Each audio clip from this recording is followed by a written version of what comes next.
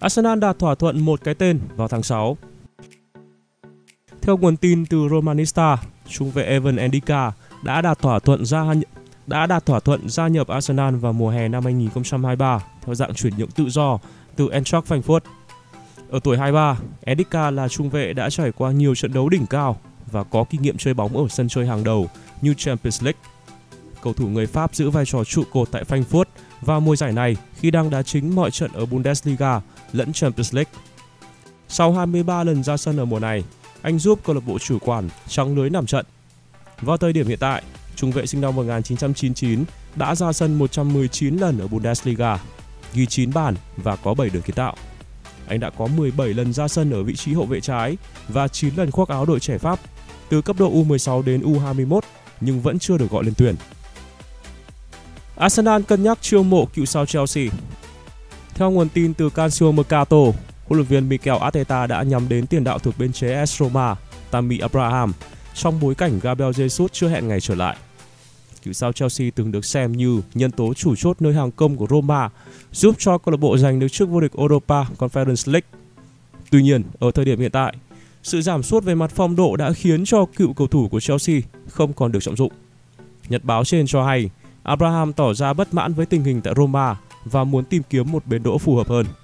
Trong khi đó, giới thượng tầng của đại diện nước Ý sau khi đã bổ sung hai ngôi sao tấn công khác là Andrea Belotti hay Paulo Dybala cũng không còn mặn mà với Abraham. Được biết họ sẵn sàng chia tay Abraham nếu nhận được lời đề nghị khoảng 43 triệu bảng. Tiết lộ mức giá của sao trẻ Brazil Theo tiết lộ từ nhà báo Jorge Nicola, người đầu tiên đưa tin về thương vụ Gabriel Jesus, câu lạc bộ AS Monaco đã thông báo với Palmeiras họ sẽ chấp nhận chi ra 22 triệu euro dành cho tài năng trẻ Danilo. Tuy nhiên, đội bóng này lại mong muốn con số 25 triệu euro. Được biết, Danilo cũng nằm trong danh sách mục tiêu chiêu mộ của Arsenal và thậm chí pháo thủ được cho là đã từng gửi lời đề nghị dành cho anh vào hồi mùa hè vừa rồi nhưng đã bị từ chối bởi câu lạc bộ thuộc Brazil. Tình hình chấn thương của Smith Rowe và Jesus sau chiến thắng Lyon vừa qua, huấn luyện viên Mikel Arteta đã có những cập nhật tình hình chấn thương của Gabriel Jesus và Emil Smith Rowe. Về trường hợp của cầu thủ mang áo số 10, Arteta tỏ ra lạc quan. Với Emil, cậu ấy đã trở lại tập luyện và đang trong quá trình hồi phục. Chúng tôi cần phải cho cậu ấy thêm thời gian. Hy vọng cậu ấy có thể ra sân trở lại trong vài tuần tới. Còn đối với chấn thương đầu gối của Gabriel Jesus, chiến lược gia người Tây Ban Nha lên tiếng chấn an các cổ động viên. Cậu ấy cần 3 tháng để hồi phục ư? Không, không có mốc thời gian cụ thể. Chúng tôi biết rằng cậu ấy cần một số can thiệp ở đầu gối và chúng tôi phải thực hiện từng ngày, từng tuần. Khi được hỏi liệu chấn thương của Jesus có ảnh hưởng đến kế hoạch chuyển nhượng của Arsenal hay không, Ateta nói Cậu ấy đóng vai trò quan trọng vào lối chơi của Arsenal. Tất nhiên chúng tôi có thể xem xét các lựa chọn và cố gắng đưa ra quyết định đúng đắn. Arsenal đang có những cầu thủ có thể mang đến cho đội mà trình diễn và sự ổn định mà chúng tôi cần có đồng thời duy trì vị trí của toàn đội hiện tại. Theo báo giới Anh đưa tin, sau chấn thương mới nhất của Jesus, pháo thủ đang nhắm đến 4 tiền đạo bao gồm Cody Gakpo, Dusan Vlahovic, Tammy Abraham và Jonathan David. Hậu vệ Arsenal chia tay tuyển Anh vì mâu thuẫn với trợ lý huấn luyện viên. Nguồn tin từ tờ Daily Mail tiết lộ, trung vệ Ben White đã rời đội tuyển Anh không phải là do việc cá nhân như tiền đạo Raheem Sterling.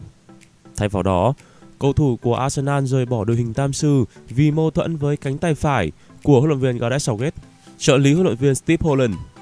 Trước đó, Holland và White đã có lời qua tiếng lại trong cuộc họp của đội tuyển trước trận đấu gặp tuyển Mỹ. Các báo cáo tiết lộ, hậu vệ của Arsenal đã chỉ trích trợ lý huấn luyện viên không biết về thống kê cá nhân của anh và cũng không đưa ra thông tin cần thiết về đối thủ. Ngoài ra, một số nguồn tin còn tiết lộ cầu thủ thuộc bên chế của Arsenal gặp nhiều khó khăn trong việc hòa đồng với các cầu thủ còn lại của tuyển Anh. Sau những sự cố này, ban huấn luyện đội tuyển Anh đã quyết định để Ben White rời khỏi đội hình tam sư nhưng vẫn giữ kín thông tin để không ảnh hưởng đến tinh thần của toàn đội. Tại chiến dịch World Cup lần này, Ben White ngồi dự bị và không được ra sân phút nào trong hai trận đầu của đội tuyển Anh. Đến trận cuối gặp xứ Wales, cầu thủ này thậm chí còn không được đăng ký thi đấu. Huấn luyện viên Ateta thừa nhận khả năng mua thêm tiền đạo trong tháng giêng Arsenal vừa chiến thắng 3-0 trước Lyon ở trận đấu giao hữu tại siêu cúp Dubai. Trong đó, tiền đạo Eddie Nketiah đóng góp một bàn và chơi khá tốt trên hàng công của pháo thủ. Tuy nhiên, huấn luyện viên trưởng Mikel Arteta vẫn bỏ ngỏ khả năng có thể mua thêm tiền đạo trong tháng riêng để khỏa lấp khoảng trống mà Gabriel Jesus để lại. Jesus người Brazil vừa phải lên bàn mổ vì chấn thương đầu gối khi tham dự World Cup năm nay. Các bác sĩ chẩn đoán Jesus có thể phải nghỉ thi đấu 3 tháng và đây sẽ là một tổn thất rất lớn dành cho Arsenal. Do đó, huấn luyện viên Arteta không hề loại trừ khả năng sẽ mua thêm tiền đạo nếu Eddie Nketiah không thể đáp ứng được những yêu cầu của ban huấn luyện. Chiến lược gia người Tây Ban Nha cho biết, tôi cảm thấy đội hình hiện tại rất tốt, nhưng thật đáng tiếc là chúng tôi vẫn có những cái chấn thương. Trong thời gian tới, chúng tôi sẽ xem xét các lựa chọn để cố gắng đưa ra quyết định đúng đắn nhất. Diễn biến mới nhất vụ Mikhailo Modric Như đã biết, một trong những mục tiêu chuyển nhượng trọng điểm của Arsenal ở mùa đông tới là Mikhailo Modric. Tuy nhiên, Shakhtar Donetsk một lần nữa tuyên bố sẽ cố gắng chống lại những lời đề nghị từ các đại gia của Premier League. Cụ thể, giám đốc bóng đá Dario Sna cho biết, Modric là một tài năng lớn, cậu ấy vẫn chưa có liên hệ với bất kỳ câu lạc bộ nào. Nếu ai đó muốn có cậu ấy, họ sẽ phải trả rất nhiều tiền. Modric là hiện tại của chúng tôi. Cách đây vài tháng, Dario Sna đã khẳng định Muric có giá không dưới 100 triệu euro. Tuy nhiên, bản thân cầu thủ này đã nói rằng anh buồn lòng khi biết sự thật này. Anh tiết lộ. Khi tôi biết về mức giá của mình, tôi không chỉ ngạc nhiên mà còn bị sốc. Tôi chắc chắn 100% rằng họ khó có thể mua một cầu thủ từ giải vô địch quốc gia Ukraine với giá 100 triệu. Tôi sẽ không giấu giếm rằng mình rất buồn. Số tiền 100 triệu là rào cản đối với quá trình chuyển nhượng của tôi sang một giải vô địch quốc gia hàng đầu, điều mà tôi hằng mơ ước. Tôi không thể nói rằng giấc mơ của tôi đã bị dập tắt, nhưng nó bị tổn thương.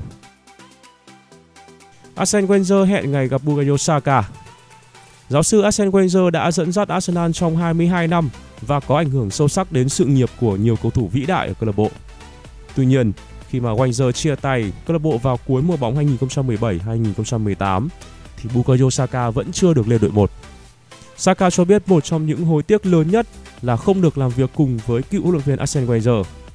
Khi được nghe về những phát biểu này, vị giáo sư người Pháp đã tỏ ra cảm động và chia sẻ với El Equipe rằng Cậu ấy rất tốt.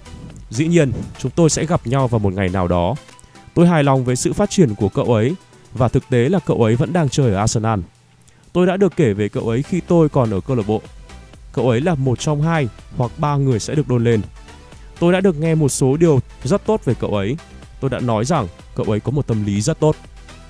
Được biết, Saka ra mắt đội 1 Arsenal vào tháng 11 năm 2018. Đến nay, cầu thủ 21 tuổi đã có 151 trận cho Arsenal và có 28 bàn thắng cùng 35 được kiến tạo. Phương án táo bạo khi Jesus gặp chấn thương Trước tình huống, tiền đạo chủ lực Gabriel Jesus phải nghỉ thi đấu giải hạn, The Team Talk cho rằng một trong những phương án mà huấn luyện viên Mikel Arteta đang cân nhắc là để Martin Odegaard và Fabio Vieira đá trong vai trò của một số trí nào Tuy nhiên, sẽ không dễ để áp dụng được chiến thuật này bởi Arsenal vẫn còn một trung phong thực thụ trong vòng cấm, đó là Eddie Nketiah. Và bản chất, phương án trên là quá mạo hiểm. Hơn nữa, Odegaard vẫn đang làm tốt vai trò kết nối giữa các tuyến của pháo thủ và sẽ chẳng có lý do gì để Arteta phải thay đổi điều mà đang mang lại sự hiệu quả cho Arsenal. Arsenal không thể trông chờ vào Eddie Nketiah. Theo quan điểm đến từ Paul Merson, Eddie Nketiah không đủ khả năng thay thế Gabriel Jesus và Arsenal cần phải chiêu mộ thêm một tiền đạo chất lượng trong phiên chợ mùa đông, mà cụ thể là Cody Gakpo. Trao đổi với The Express, cựu cầu thủ Arsenal chia sẻ Eddie Nketiah không thể bắt kịp Jesus Tôi không có ý thiếu tôn trọng với đứa trẻ này, nhưng tất nhiên là không thể. Đòi hỏi đó là quá nhiều với cậu ấy. Nketiah thật xuất sắc khi vào sân thay người, nhưng Arsenal phải giành lấy ưu thế trước đối thủ ngay khi ra sân. Tôi sẽ chọn Gakpo, cậu ấy năng động và thường xuyên ghi bàn. Tôi cũng sẽ chọn cậu ấy thay vì Hao Felix. Không thành vấn đề nếu thương vụ này có giá 100 triệu bảng. Bạn sẽ hiếm có được những cơ hội như thế này.